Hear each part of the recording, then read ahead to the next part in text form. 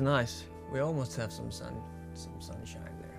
I've been on a journey of sorts. I'm literally building this room, which will become my new music studio. You probably thought I left. You probably thought music, uh, well, maybe not music, but YouTube and, and stuff was not exactly at the forefront of my attention. But uh, I'll say, in a way, it is. And I'm not going anywhere. I've just simply been gathering momentum, you see? Probably more like a tumbleweed than.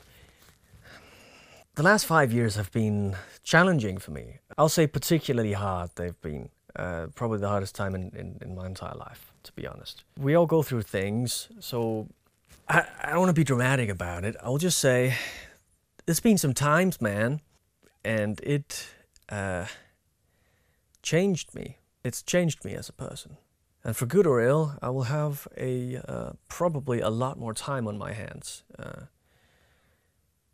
I still play music. I still have big ideas about it. Uh, I mean, the stuff that I want to do, the cool things I want to try and do, the things I want to sing, things I want to play, stuff like that.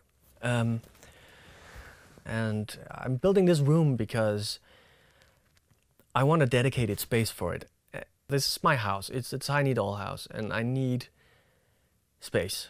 I need light. I am kind of a vampire. I'm kind of, what am I saying?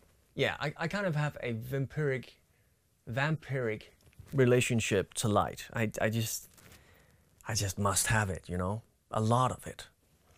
More than other people, I think. And so if I don't get it, I just sort of die. So that's the point of this. And all these windows and, and, and stuff, it's all recycled materials. Well, this is not.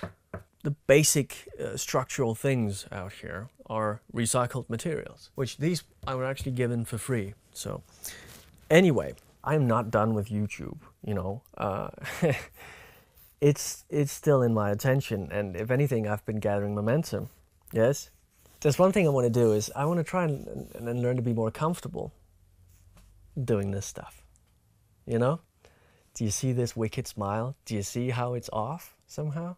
Anyway, I want to try and learn to ease into things a bit more, be more comfortable, and be a little more relaxed about all these thoughts that some of us probably have a little more than other people, which are the thoughts about, you know, the judgment of other people or the perceived judgment of other people. I want to get better at that. And I want to create a space, um, both a physical space, but also just a mental space, where I'm allowed, where I have permission to do my videos, whatever they are. And so I'm sorry for doing this, which is a, a non-video. I'm not really doing anything except talking about the stuff that I want to do. And it's, it's, it's typical for YouTubers. It's a, I get it.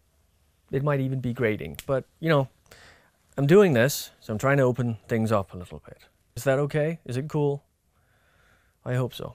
Um, this year you can probably expect two things from me. Um, I would like to do more than just two things, but you can expect a small series about the construction of this room.